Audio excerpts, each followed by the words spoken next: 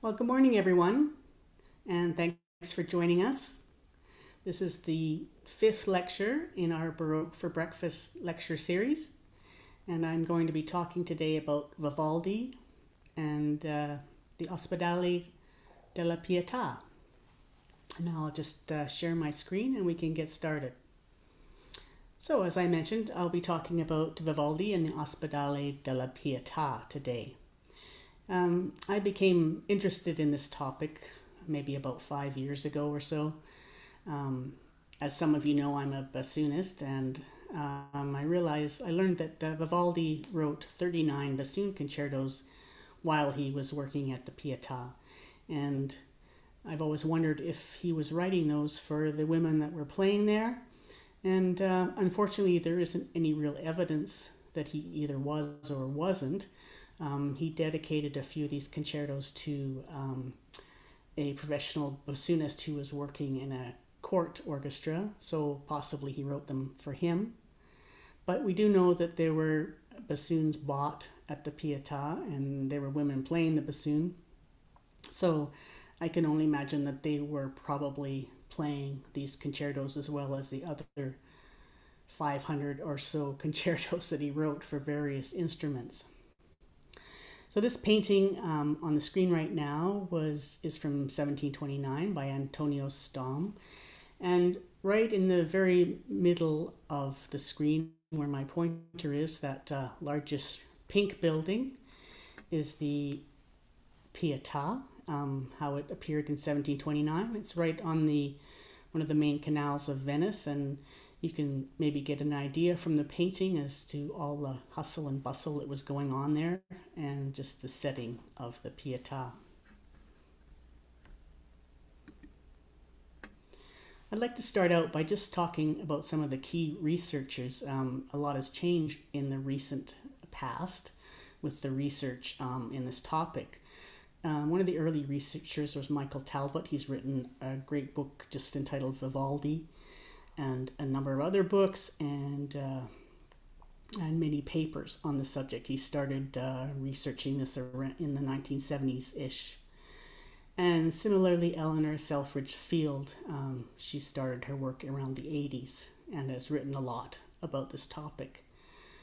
Um, one person I've become quite interested in is Micky White, who's a British researcher who moved to Venice and uh, spending 100% of her time researching the Pietà and Vivaldi. She started doing that in uh, the early 2000s.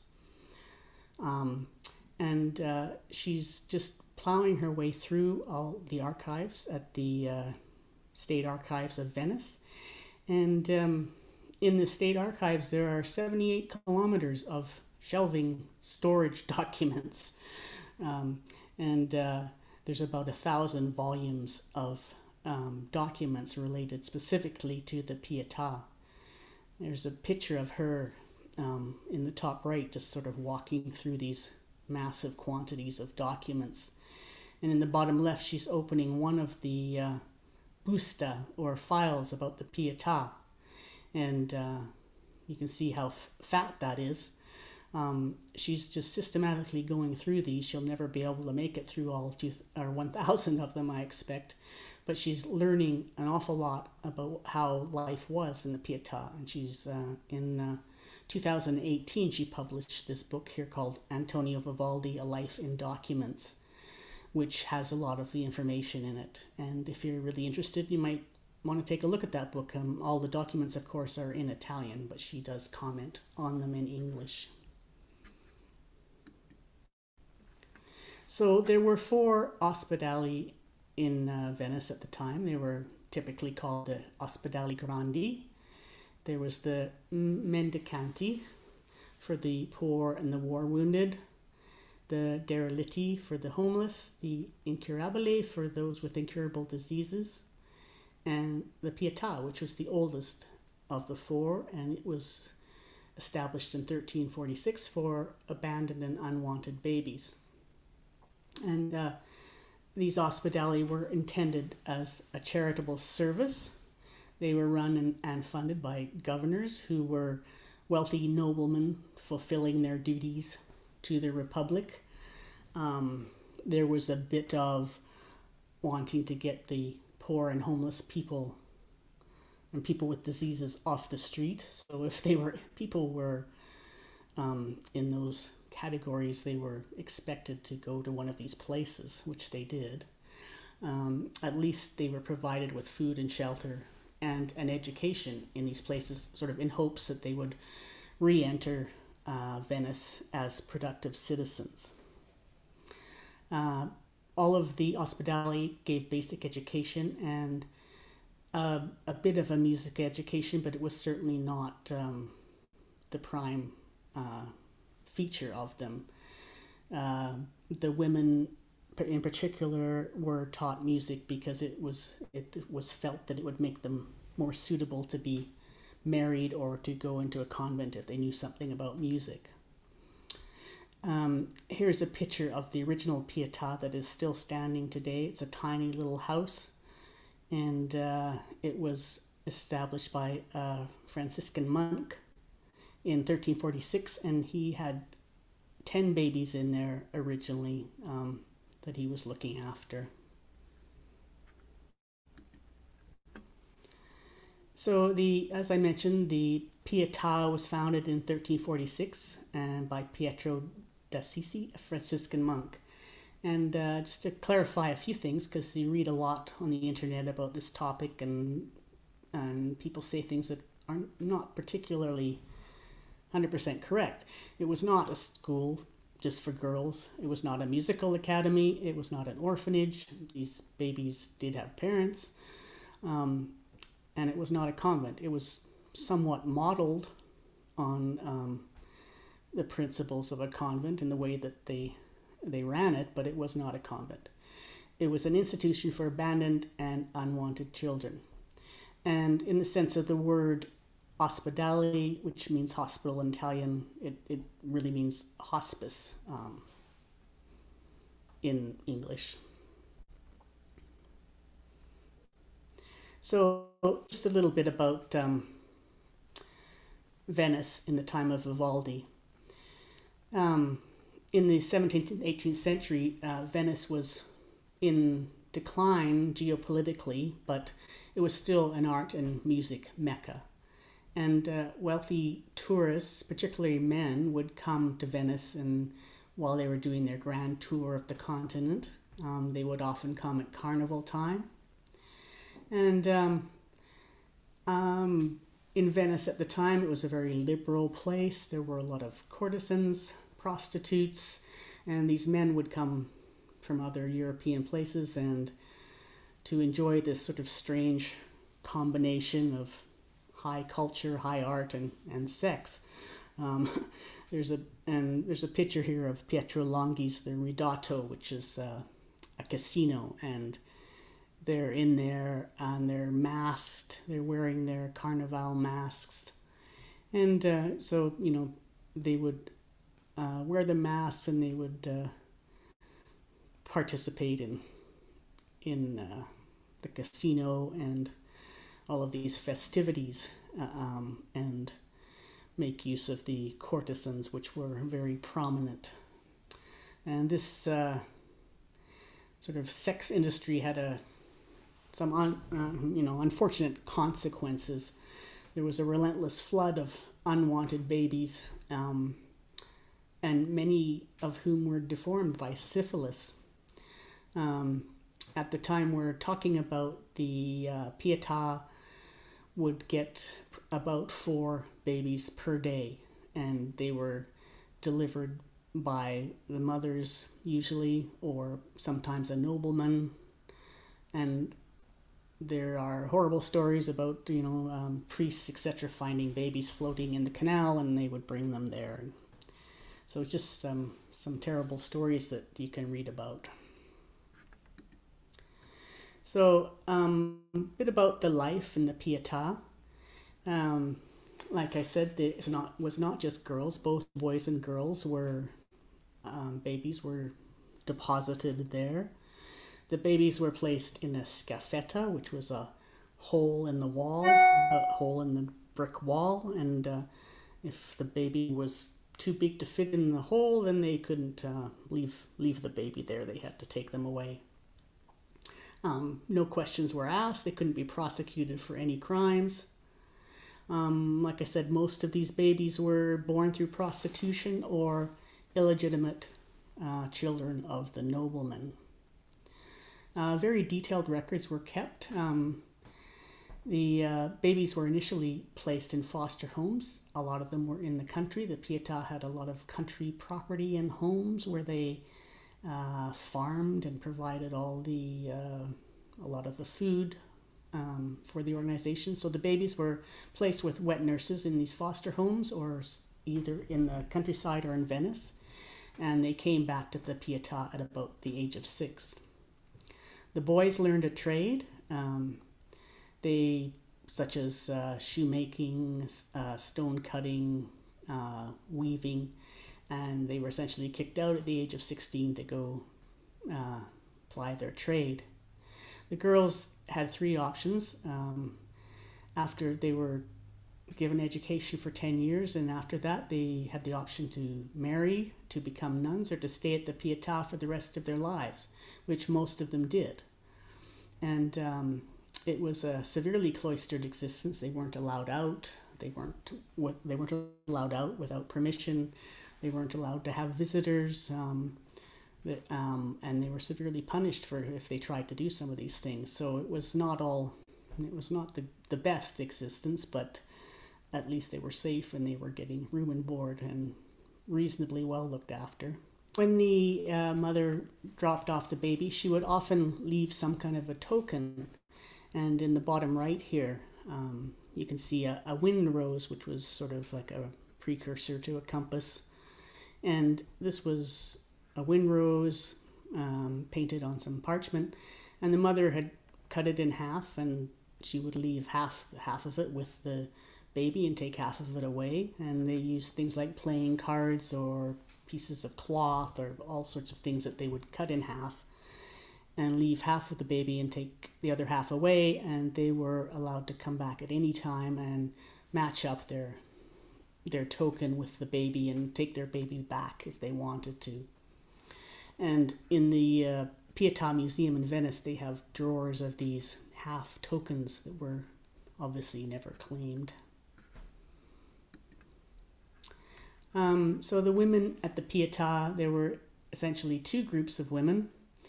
The Figli di Commune, they were the non musicians, and they received a general education and they learned skills such as sewing, laundering, embroidering, weaving, which were um, ostensibly to prepare them for a life, um, for marriage or for a life in the convent. And uh, they took care of various tasks in the institution, um, administrative tasks, all sorts of other tasks, and they sold the, the works that they produced by weaving, embroidery, etc., um, which helped to um, offset costs for living there. Um, the other group of women was the Figli di Coro, who were the musicians, and they received uh, extensive musical education. Um, at about 10 years of age, all the women um, in the Pietà were assessed for musical ability, and about one in ten of them were considered to be fit to join the Figli di Coro. Um, and they wore a uniform of sorts. At the Pietà, it was a red dress, as shown in that picture. The other ospedali, they had different colors. So the Figli di Coro, they were considered they would have been considered the elite of the Pietà. In Vivaldi's time, there were about 60 or 70 women in the coro, and they earned a living there within the institution. So they were actually were paid for being musicians, and um, some of them had multiple jobs in sort of in the medical field um, as nurses or pharmacists or um, doing um, work, administrative work, as as well as being musicians, and as they were the elite, they had their own separate rooms and apartments and were given a special diet, and there are records that show um, there was a certain uh, pecking pecking order when it came to meals. The the figli di coro were allowed to go first and have as much as they wanted, and then the rest of the women and then the, the boys were, were last in the feeding schedule. Uh, most of these women spent their whole lives at the Pietà. Not many of them left to get married or become nuns. And uh, later on, they started to allow um, some of the figli di coro to teach what was known as the figli in educazione, which was the daughters of rich noblemen were allowed to come there and uh, take lessons from some of the members. Um, and the very best uh, singers and instrumentalists were allowed to leave the Pietà and work elsewhere in Europe, and they were supposed to promote um, the orchestra and choir at the Pietà and get more tourists to come and spend their money.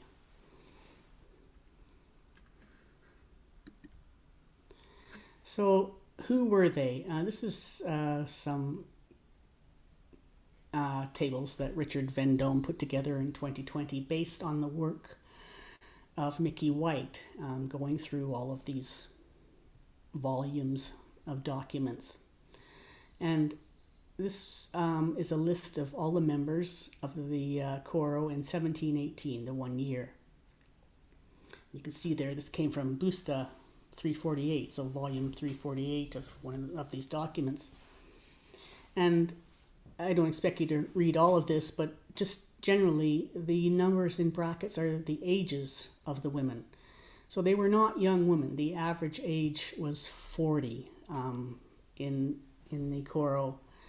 And you can see here um, some of them had different duties, like this uh, Bastiana was a chemist, Anzoletta was also a seamstress.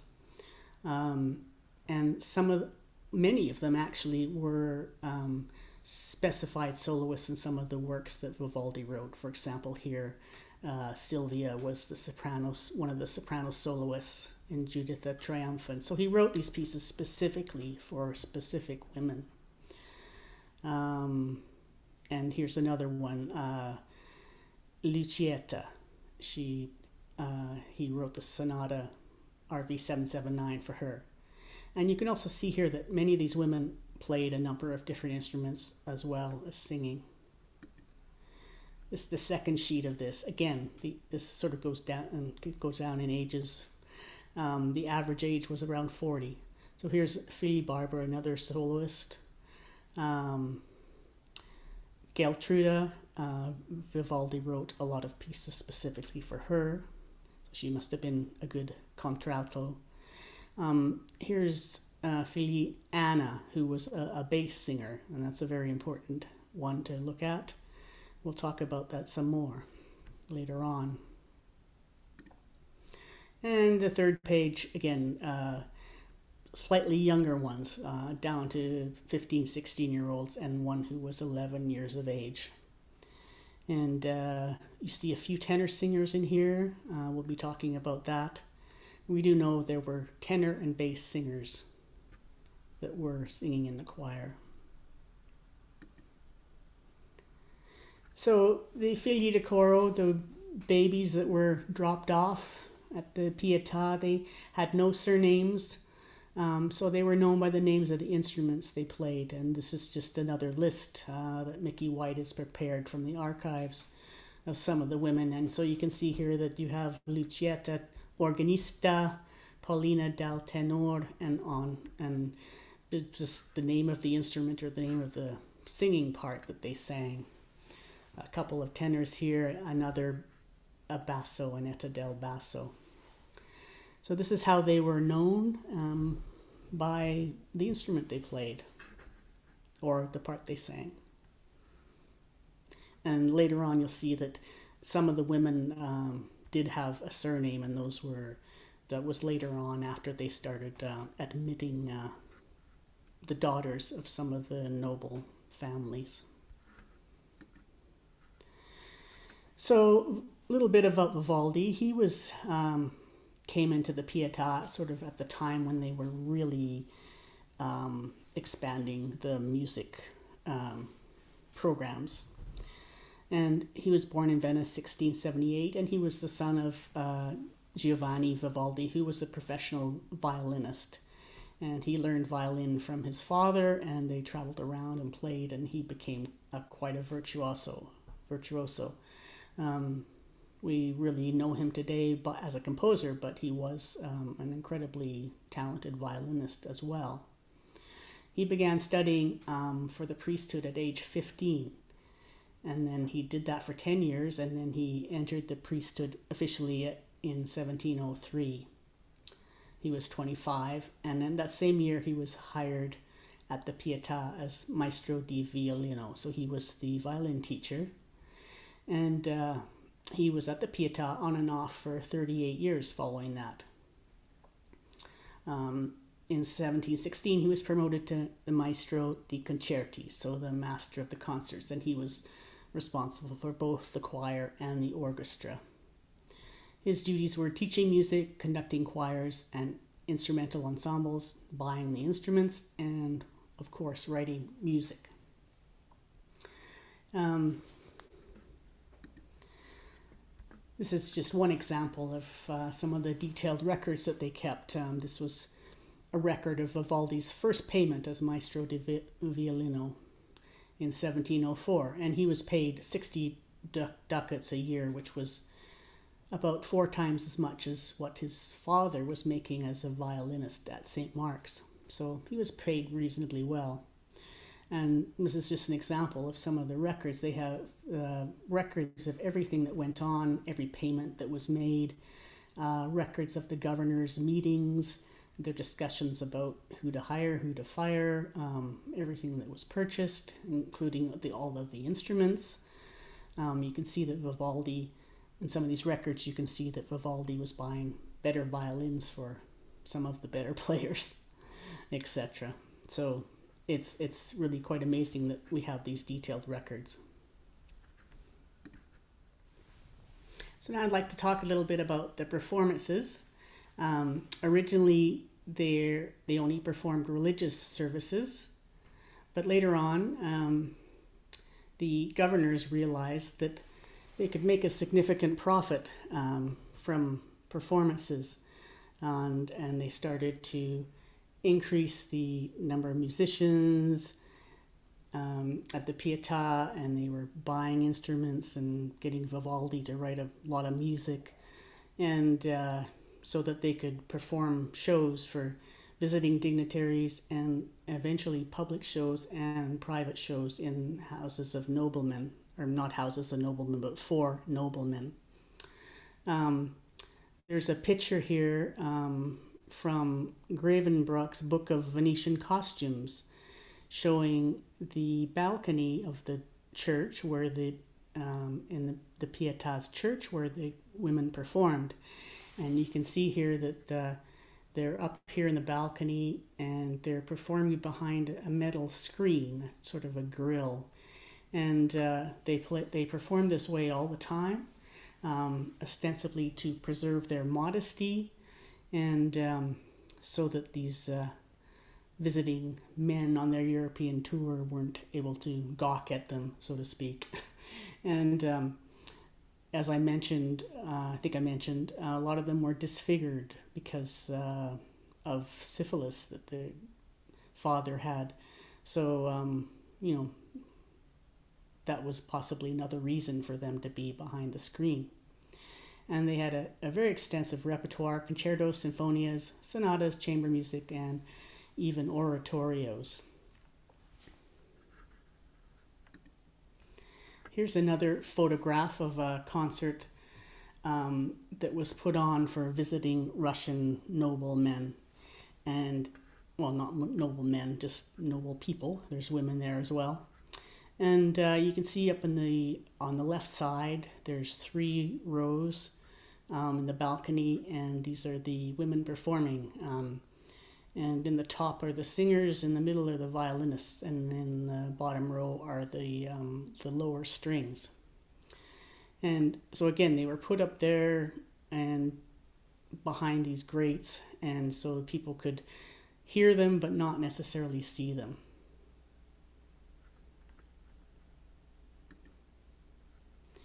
And there's a lot of documentation with some of these visiting dignitaries and tourists who gave glowing accounts of the performances. Some people of note were Charles Burney, Goethe, um, Quantz, and Jean Jacques Rousseau. Uh, Burney says, This afternoon I went again into the Pietà. There was not much company, and the girls played a thousand tricks in the singing, particularly in the duets where there was a trial of skill and natural powers as to who could go highest and lowest or run divisions with the greatest rapidity. And French diarist Charles de Brosses says, They sing like angels and play the violin, the flute, the organ, the oboe, the cello, and the bassoon. In short, there is no instrument, however great it may be, that can daunt them. And so that last point that he makes about all the different instruments, um, they were very quick at the Pietà to adopt new instruments, and they had no problem um, with the women playing all of these wind instruments. If you remember my talk from a few weeks ago, uh, women in general were not allowed to play instruments like this because it was unwomanly the way they looked when they were playing. So they typically just played the strings or harpsichord.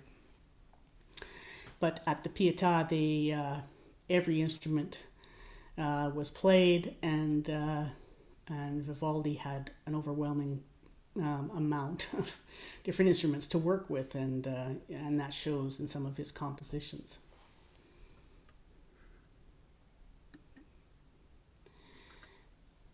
So the first piece um, I'd like to talk about uh, and listen to is uh, from Opus One.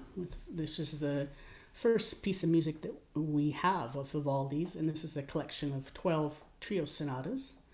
This one is in C major, so he's starting off Opus 1 with a piece in C major, and this was written for specific people, and it's hard to see, but along the left hand side here it says Signora Prudenza on violin, Signora Pellegrina on oboe, Signora Lucietta on organ, and Signora Candida on the Chalumeau. And uh, if you don't know what a Chalumeau is, it's here's a picture here. It was a, a precursor to the clarinet. And um, this piece is is representative of a lot, lot of music that Vivaldi wrote, um, because he had the freedom to experiment with all kinds of different instruments, and he wrote pieces for d- different combinations of instruments than other composers were writing for. And often um, the uh, parts were um, on equal footing, like nobody was singled out to have the the uh, melody all the time, for example. Um, and you can see this in this piece, and also um, in his concerti for multiple instruments is another example, um, where he has different instruments and they're all given equal opportunity to play. Um, the thought is possibly that he was very sensitive to the fact that these women were um, unwanted, discarded, and and very vulnerable, vulnerable, and so he was trying to give everybody equal opportunity to play their instruments. And um, if you, uh, in going through these archives, many, many, many of the women were were acknowledged to to as players. So it wasn't like one person just got to play all the solos all the time. Everyone had a chance. So you can I play the bit about bit from movement four, and you can hear sort of the interplay between the violin and the oboe and the organ, and everybody gets a chance at it.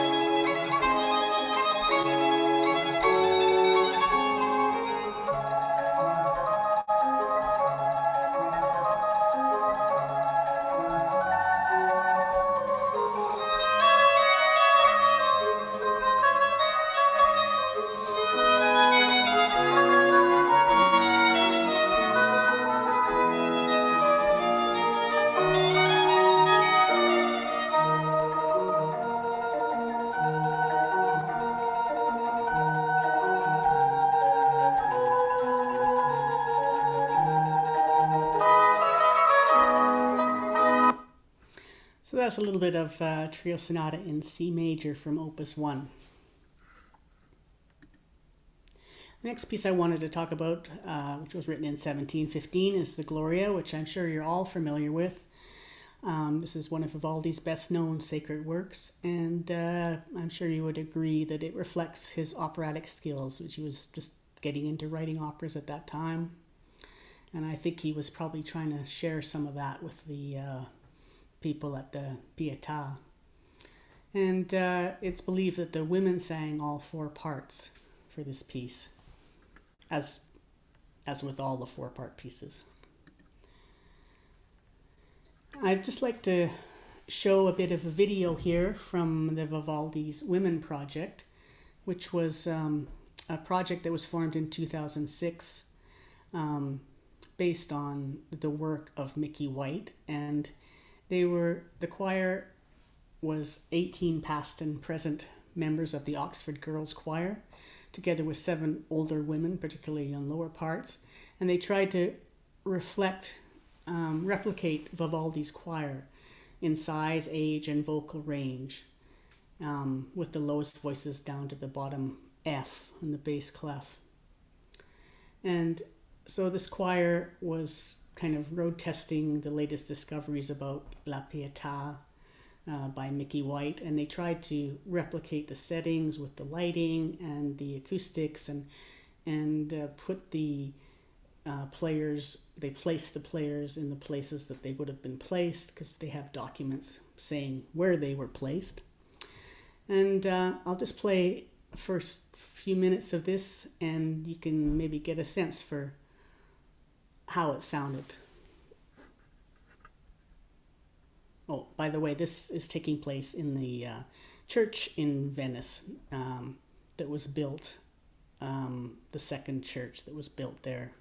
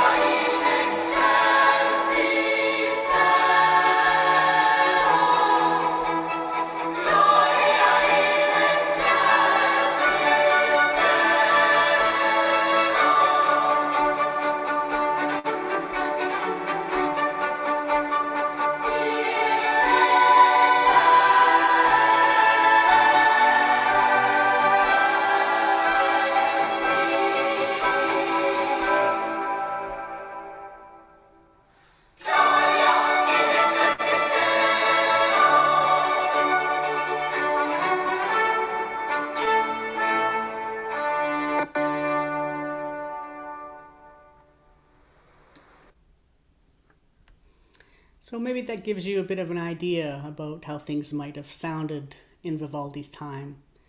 Um, if you would, l- I just noticed in the chat here that somebody says this video by BBC is no longer available, uh, the entire video. But if um, it is available, not on YouTube, if you would like um, me to tell you where that is, just uh, send me a an email to info at saltspringbaroque.com and we can we can get you access to that.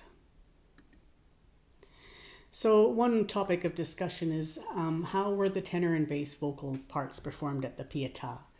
Um, there's various theories. The invisible man theory, where there were actually men and they were um, not seen, they were just singing their parts. Um, there are no men shown in any of the drawings or paintings. I guess that's because they're invisible, but uh, that's probably unlikely. There's the instrumental theory that uh, the bass and tenor parts were played by instruments. This is a possibility. We know it was done in some of the convents um, and other places. Um, so that's a possibility. There's the Chiavette theory, which is a way of um, increasing the pitch by substituting different clefs. And that was probably unlikely. Or there's the octave transposition theory, which might have been done um, transposing the tenor and bass parts up an octave. But I think the uh, evidence suggests now, in light of the new evidence, that the vocal parts were sung, all the parts were sung by women, including the tenors and basses.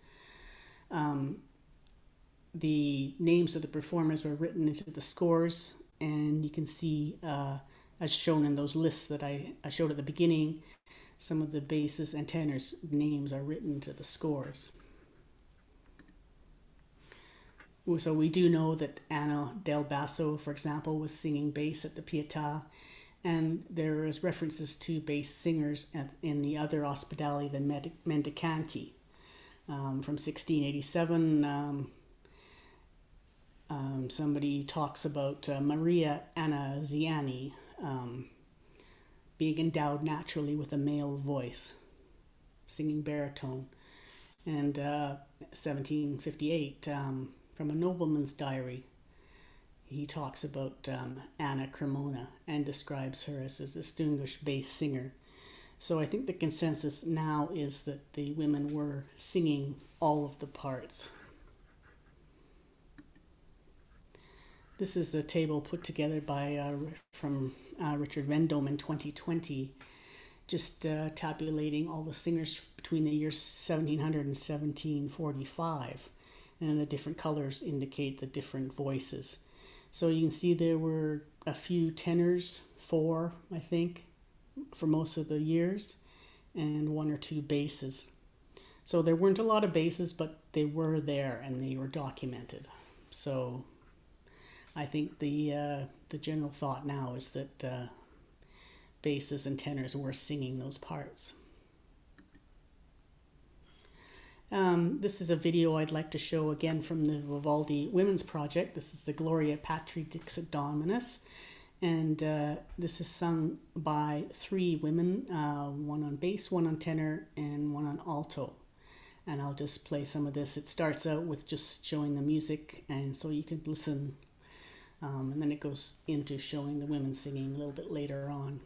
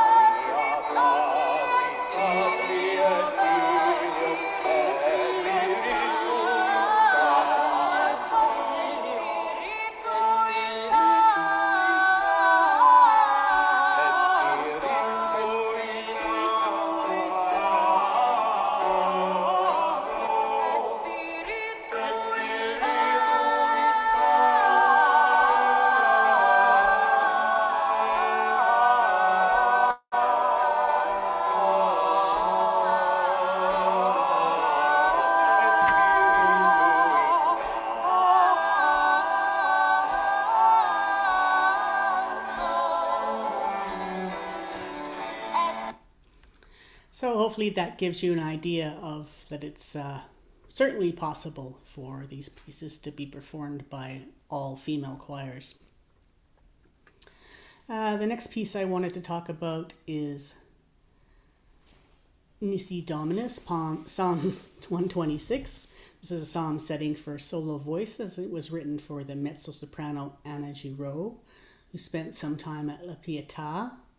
And uh, she was uh, Vivaldi's favorite soprano, and she ended up moving in with him, living with him for quite a number of years, along with her sister. And there's all sorts of scandalous rumors about that, but uh, that's for another talk. Um, and I just I like this piece. Um, you can sort of uh, visualize it being sung in that church setting with the great acoustics. And uh, I'll just play a little bit here.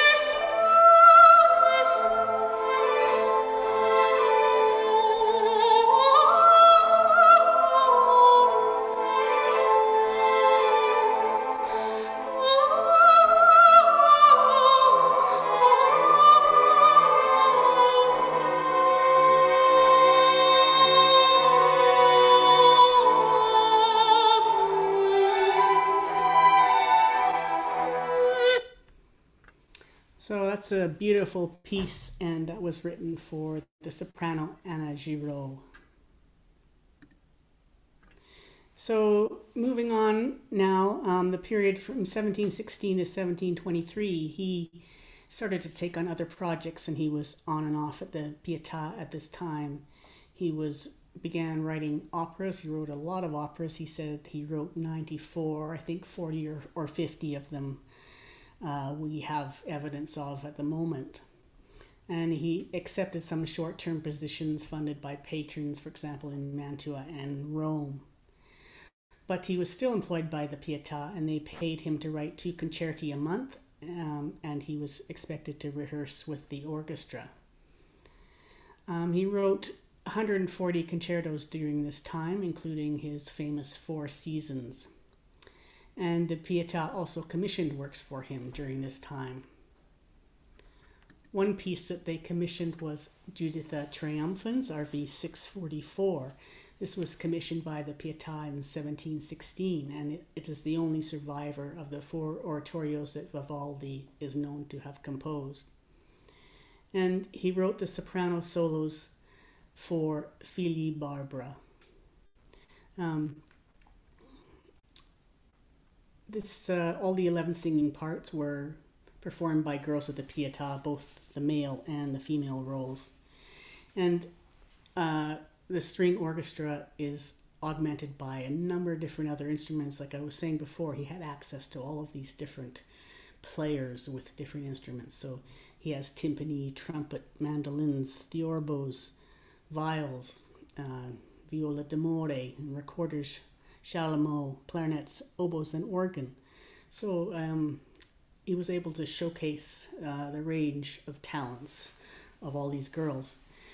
Um, I'm just going to play uh, an aria here, Veni Veni, and um, in you can hear the um, soprano chalumeau at the beginning of this, which is uh, supposed to symbolize the cooing of a turtle dove. I'll just play some of this area right now.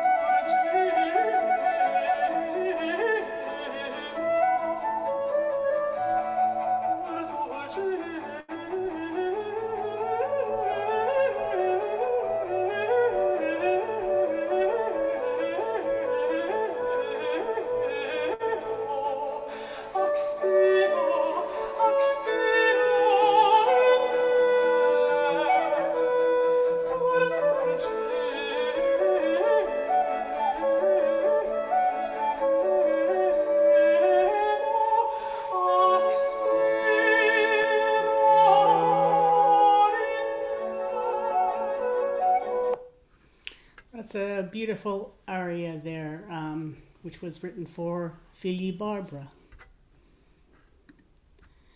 Now I'd like to talk about uh, the Magnificat. So we're, we're going on in time here. This was written in 1739, or this version was. And uh, we're getting uh, towards the end of Vivaldi's time at La Pietà.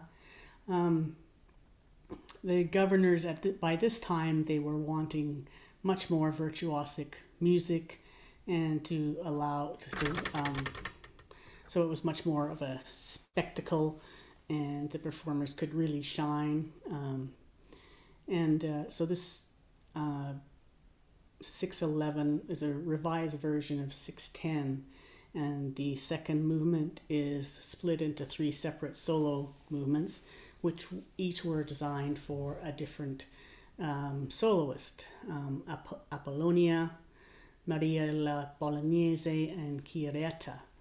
And uh, so this movement here was written for the soprano Apollonia. And uh, I'm going to play a little bit. You can follow along with the music. It's very virtuosic. And um, obviously, these singers knew how to sing. And hopefully, this uh, provided the spectacle that the governors were after.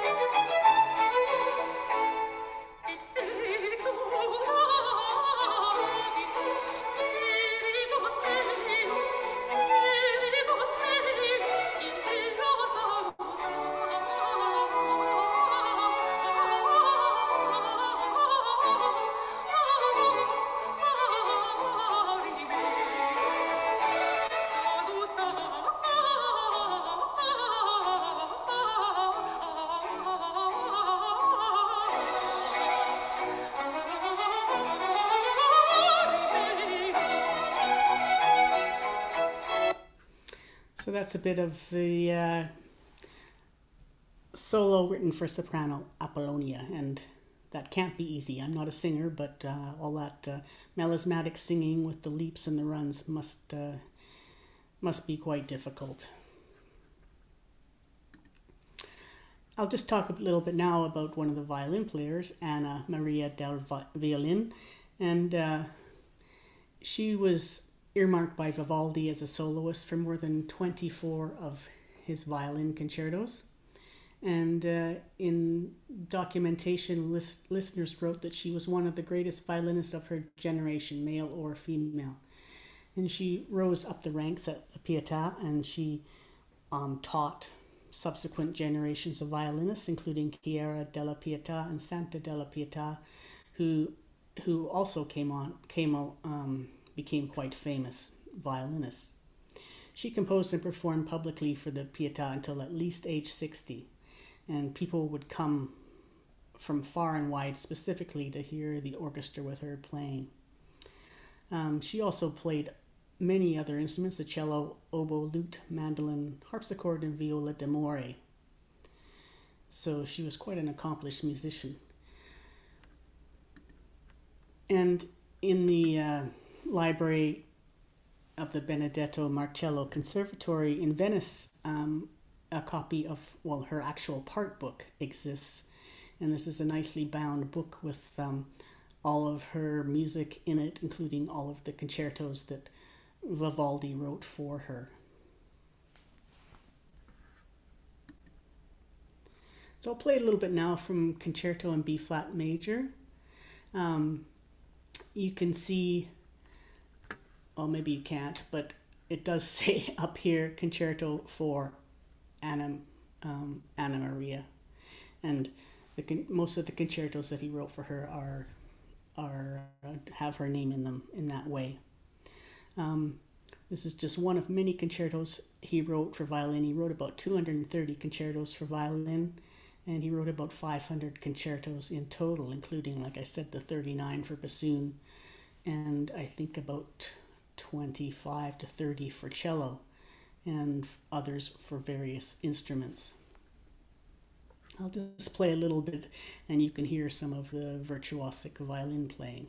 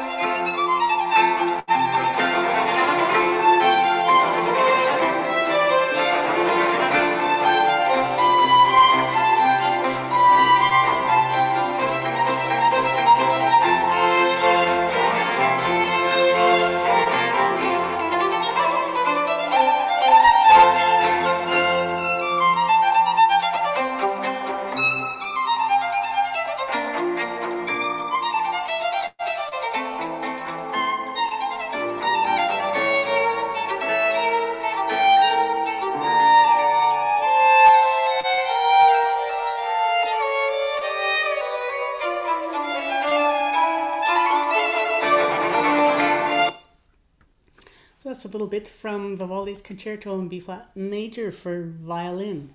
Gives you an idea of the type of music that Anna Maria was playing. And finally, now I'd just like to mention a few of the composers that we know about who have emerged from the coro of the Ospedali, not, not strictly the Pietà, but um, from all four of the Ospedali. There's only five that we know of. Um, they're listed here Vincenta da Ponte, Anna Bon, Agata della Pietà, Michelina della Pietà, and Santa della Pietà. Um, you can tell by the names of the first two, um, Ponte and Bon that they these were women who would have joined as um, independent. Uh, they would have been the daughters of uh, wealthy noblemen who were studying at the Ospedali.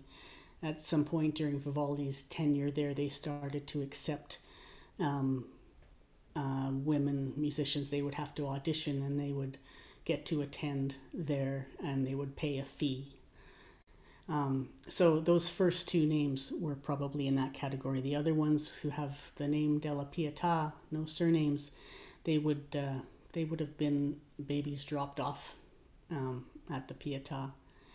And uh, we don't really have, I, I tried to research some of this for my talk on women composers, but we really don't know very much about these women at the moment.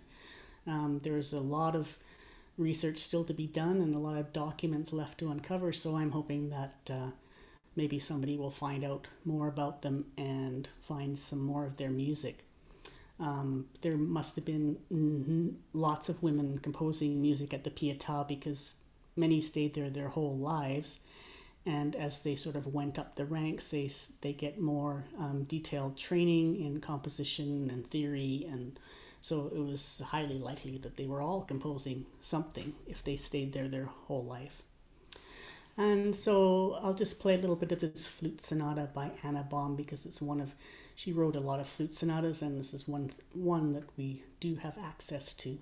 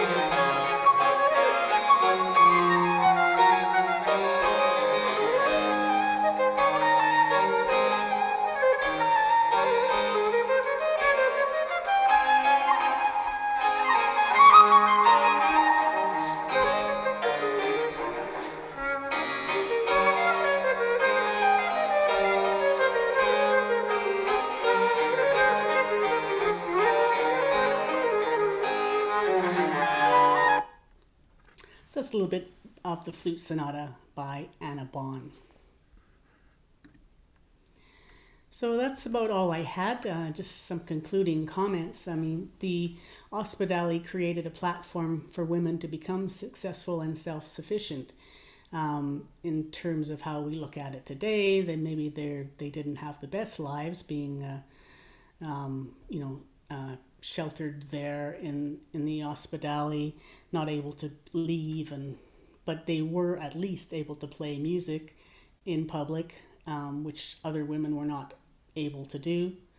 And they got a good education and many of them became um, highly virtuoso at their instruments and, and singing.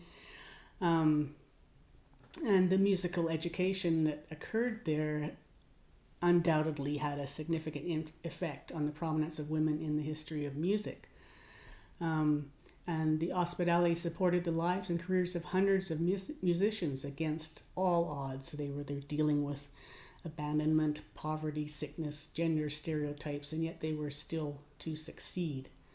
And, and a lot of the women who stayed there learned many other skills. They essentially had jobs, they were working as um, pharmacists in the medical profession, as administrators, um, and the ones who weren't musicians were were um, dealing with all the running of the organization. Um, so there probably weren't many women in Venice or anywhere at that time that had such responsibilities.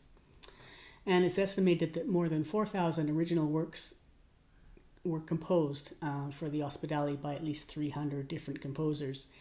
And um, I think it's highly unlikely that Vivaldi would have had such a significant output of music, especially his concertos, if he wasn't writing them um, for the women of the Pietà.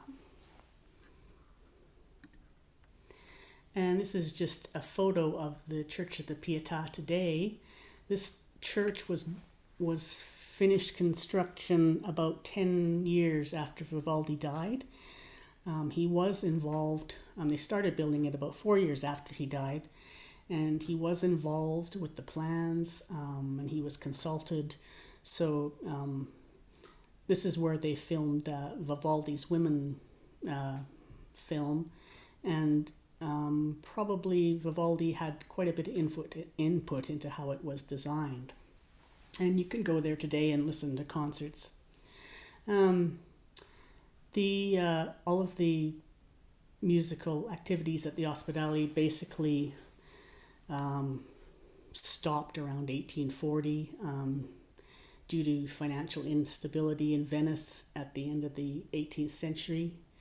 Um, the Derelitti closed in 1791, followed by the Mendicanti 1795 and then uh, you had Napoleon's invasion of Venice in 1797, and all the musical activities at the Ospedali were reduced. The in um, Incurabili closed in Incurabili closed in 1805, and uh, at that point the Pietà was the only one left standing, um, and their last musical composition was. Po- performed in 1840.